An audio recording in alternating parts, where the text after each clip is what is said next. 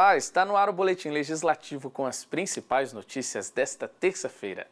E a Câmara recebeu uma audiência pública para apresentar à população o balanço das metas fiscais do segundo quadrimestre deste ano.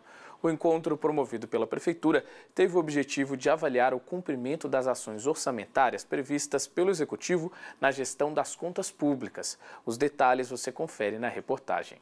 Em audiência pública realizada na Câmara, a Prefeitura apresentou o balanço das metas fiscais referente ao segundo quadrimestre de 2019.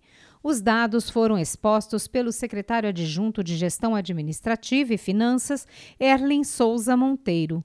Segundo ele, houve queda de 3,21% na meta de arrecadação do município. A previsão era alcançar 1,818 bilhões de reais, enquanto que o valor de fato arrecadado foi de 1,759 bilhões. O município vive um momento também importante, né? É um momento de equilíbrio, né? Se você observar, pelo que nós apresentamos hoje na audiência, é, nós tivemos uma arrecadação de aproximadamente 1 bilhão 750 nos primeiros oito meses é, e uma despesa de aproximadamente 1 bilhão 540. Essa diferença de 200 milhões dá uma da, é, mostra a saúde financeira do município, a boa gestão que o prefeito Felício Ramute tem feito é, nessa gestão.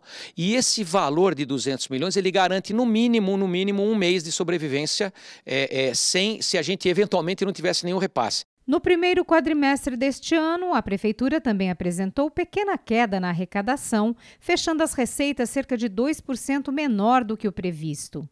Na ocasião, o secretário adjunto de Gestão de Finanças afirmou que o valor ainda ficou dentro do esperado. Já para este segundo quadrimestre, o pior desempenho foi referente às receitas de capital, que apresentaram baixa de 23,77% quanto à expectativa do orçamento.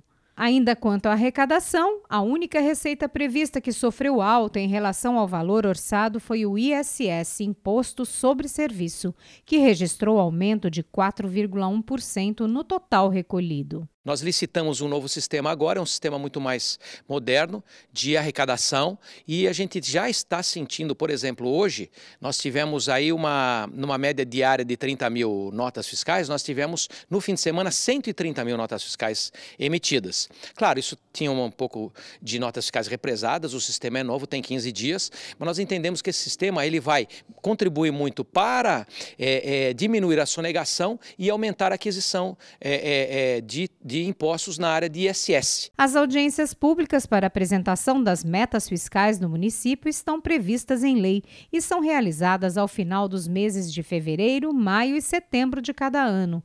É papel dos vereadores acompanhar e fiscalizar as ações que compõem o orçamento da cidade. O CAC, o Centro de Apoio ao Cidadão, que fica aqui no prédio da Câmara, completou 14 anos este mês. Inaugurado em setembro de 2005, o local já auxiliou milhares de joseenses com serviços gratuitos, como emissão ou cópia de documentos, impressão de currículos e também o acesso à internet. Este trabalho de mais de uma década e mais de 600 mil atendimentos recebe o reconhecimento da Câmara. Conheça mais sobre o CAC na reportagem que preparamos para você.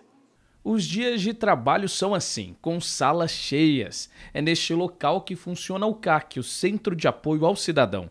Localizado no prédio da Câmara e mantido pela Prefeitura, o CAC serve como um posto de atendimento que realiza uma série de serviços gratuitos à comunidade e já são 14 anos de existência. Desde setembro de 2005, quando foi inaugurado até hoje, milhares de pessoas passaram pelo local. Ao todo, os atendimentos somam mais de 660 mil. E por falar em atendimento, aqui está a lista de serviços oferecidos pelo CAC, e são vários: emissão de foto 3x4, elaboração de currículos, acesso à internet, atestado de antecedente criminal, emissão de carteira de trabalho, plastificação de documentos, requisição de certidões, segunda via do CPF, boletim de ocorrência online, agendamentos variados, cópias de documentos, além do cadastramento em sites como CE, PAT e Emprega São Paulo. E o auxílio na conquista de emprego é uma das principais demandas do CAC. Nesses 14 anos de funcionamento, a equipe do CAC ajudou a elaborar mais de 275 mil currículos e emitiu cerca de 48 mil carteiras de trabalho. Para incentivar ainda mais esse processo, as vagas de emprego disponíveis no PAT são atualizadas diariamente e ficam no mural de entrada e a importância desse serviço também é exemplificada por outros números. O CAC já emitiu mais de 27 mil atestados de antecedentes criminais e mais de 4 mil certidões, sejam de nascimento, casamento ou óbito. Os pedidos de cópia xerográfica somam 73 mil e aproximadamente 123 mil pessoas usaram o serviço de acesso à internet. O programa, que recebe o reconhecimento da Câmara, está sempre de portas abertas à população.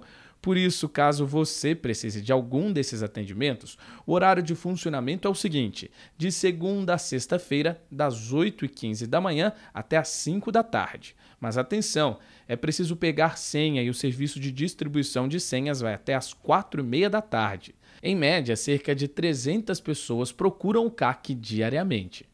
E confira agora a previsão do tempo para a tarde de hoje e também amanhã, quarta-feira. O sol aparece nesta terça-feira entre algumas nuvens e temperaturas que variam de 12 a 25 graus. Pode chover a qualquer hora do dia. Na quarta, o céu permanece parcialmente nublado e a chance de chuva aumenta. Sem grandes mudanças na temperatura, a máxima permanece 25 graus, já a mínima será 14. E esse foi o nosso boletim de notícias. Muito obrigado pela companhia e a gente se vê logo mais às 5 e meia da tarde na transmissão ao vivo da sessão desta terça. Até lá!